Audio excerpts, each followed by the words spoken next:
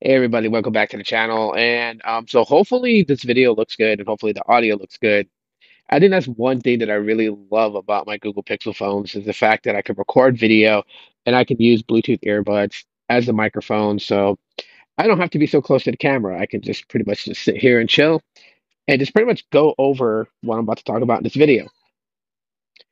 And um, please excuse my neighbors adjust the camera. But anyways, um, so this video took me a while to kind of compile and put together so that we can talk about this in this video. And um, while a lot of you guys know, I'm a big fan of Google Pixel phones. Um, I also tend to back Google in certain things that they do. I'm not oblivious and blind to the things that Google doesn't do good. And so a while, you know, I've been putting this video together. I just kind of wanted to talk to you guys about it, you know, because recently, um, and it's like the craziest thing ever. A lot of people have really, you know, kind of let me know that they weren't able to get the latest, um, the latest updates on their Google Pixel phones. Sorry, I got a notification there for a second. And uh, you know, it's kind of it's kind of disheartening, right? I mean, you're Google. Um, you're you are the software developers of Android, and um, you make the Google Pixel phones and the products that surround it in this new ecosystem that you're putting together.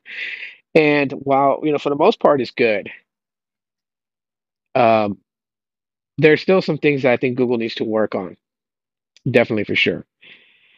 Um, this this recent issue with uh, the January security patch, um, you know, there's there's people who are talking about that. You know, it's uh, it's kind of related to like if you're using T-Mobile service in your Pixel phone. Um, there's just been issues where it's been delayed, and you know, this this is all this weirdness to it.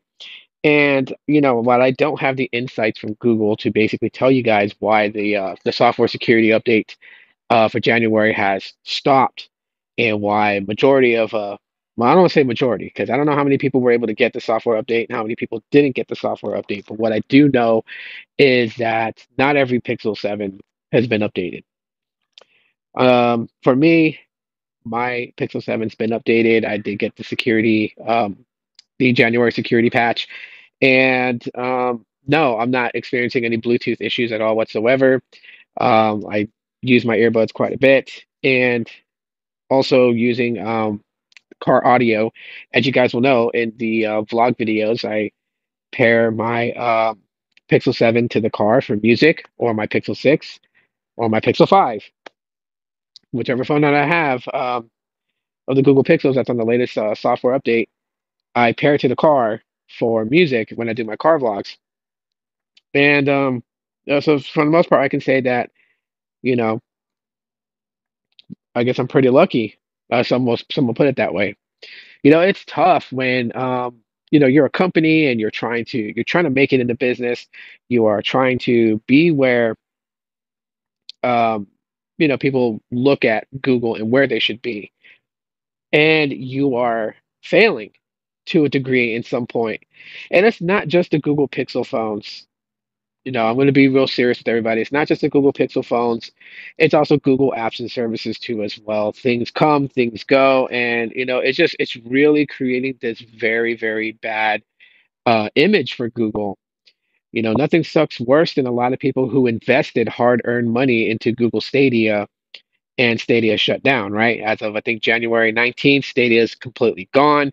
I uploaded a quick short just basically outlining that you don't have to throw away your your Stadia controller or you know just try to keep it on the shelf as a relic. You can still get usage out of your Stadia controller. They have a um, software update for the for the controller that um, shuts off Wi-Fi capability and enables Bluetooth capability. So you can Bluetooth your Stadia controller to like any gaming console, laptop, tablet, or even use it as a turning your phone into a portable gaming phone and you know just get one of those brackets that sits on the controller that holds your phone as you can just portably game.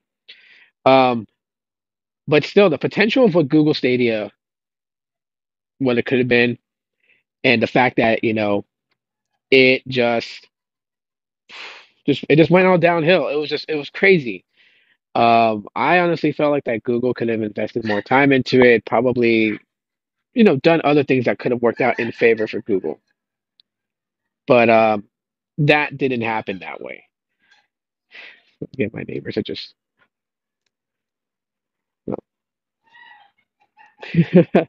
Anyways, um,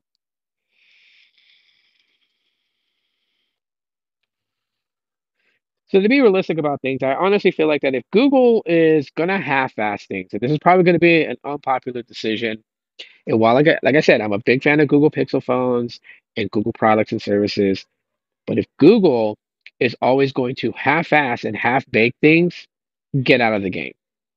Just stop. Just focus on Android and put it out there for Samsung and Motorola and all of them to do it. Because what is the point of having your own line of products and you know you failing to keep them up to date or you you know you failing to to uh to have a reputation of being trustworthy. That that's the biggest key problem with Google is that a lot of people don't trust them. They create a new app, new service. Why doesn't anyone really download it these days and try it out? Because they're not going to invest time into something that is going to be eradicated down the road because trust issues. Not enough people using it. Okay, no one likes it. Shut it down. Well, the reason why you're going to have that consistently happening is because the things that you have put out that could have been something amazing that people kind of started to kind of get into, you took it away. Allo probably would have been like the best messaging app in the Android space whatsoever. Great. They took the features from that, they put it into Android messages, they did away with Allo.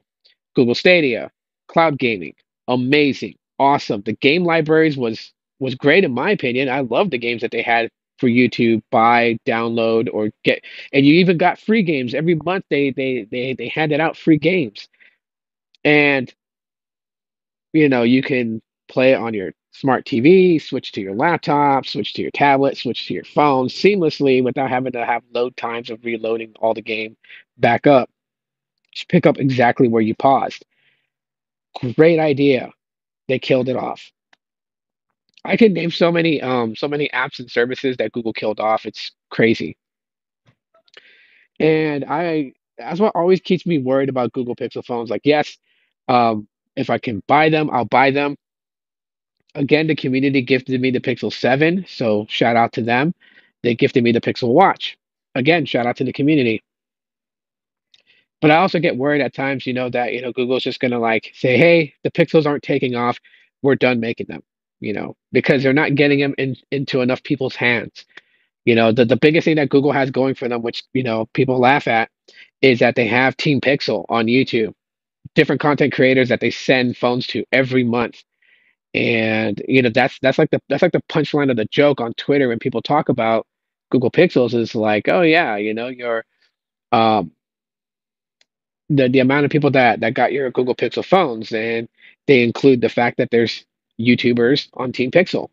That gets thrown in there. That's the punchline to the joke, and you know, um, so I always get afraid that like Google's going to look at the Google Pixel lineup and say, you know, we're just we're we're, we're done trying and completely stop. And then what? Then they're going to stop support for the hardware, and yeah, it's these are the things that I think about and things that, you know, honestly, I'd say that I would worry about too. Um, because Google's never really restored faith in the ability for me to trust them as a company to say, hey, you're going to create a, a service, you're going to, you know, bring an app up or anything like that, you're going to, you know, consistently keep it up to date and support it. I don't trust Google to do that. I don't. Um, not that, you know, with the layoffs and everything, where they laid off 12,000 people, like that's a totally different subject that I will talk about later on this week, but just Google as a whole, the Google Pixel phones, the apps and services, those things. Google has kind of failed and they really need to shape up if they want to be able to continue competing against Apple and Samsung.